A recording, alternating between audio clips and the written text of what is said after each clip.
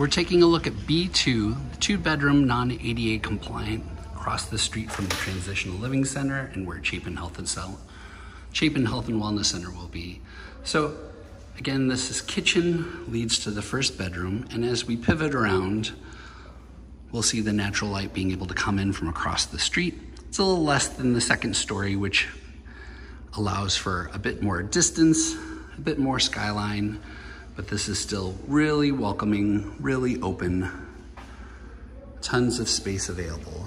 And again, this is an active construction site, so we're not expecting to see specifically anything as rough as this, but they're working on painting, they've finished ceilings, Next steps are to finish trim in other apartments, work on flooring, work on fixtures, switches, etc. Again, this will be our kitchen. We can see where sink placement will be, where outlets are. One of the things that I've forgotten to mention though is fridge and washer and dryer space. So in opening up what might first look like a pantry, this is where our fridges will go. So again, we see outlines there. And then we see a dryer. So dryer hosing will connect to there. We'll get jetted outside, come back again. And so we have pantry space, hot water heater. This is the first bedroom on its side. Again, a lot of light pouring in.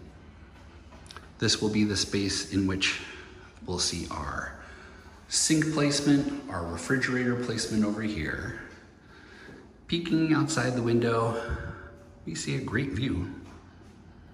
The tree line, transitional housing, and again, where the Chapin Health and Wellness Center will be. So here's the other wall space of this bedroom.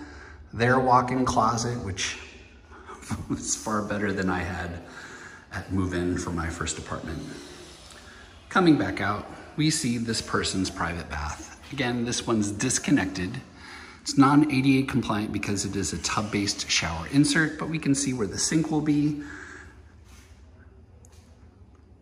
Exhaust fans, lighting, coming back out again. We see the half wall showing where bar seating is available. Kitchen counters will go, Here's another view of the living room space. So for a two bedroom, there's plenty of available room for couches, chairs, kitchen table and seating. Coming into the second bedroom. Here's what some of this space looks like. Again, peering out the window, we get a pretty great view.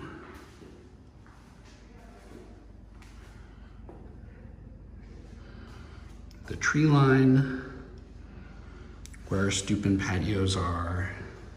So this space will be available for people to be able to decorate, call their own, have a couple of patio chairs, lawn chairs, to greet their friends outside. This bedroom does have their own private bath, so this is their walk-in closet available to them. This is the attached bath. So again, tub style shower insert, toilet against the wall, coming back out, we face the living room. So floor plans are similar between the second and first story, near identical, save what would be a staircase headed up that way and exiting out over here. But this is a welcoming space, and again, huge for a two bedroom. Thank you.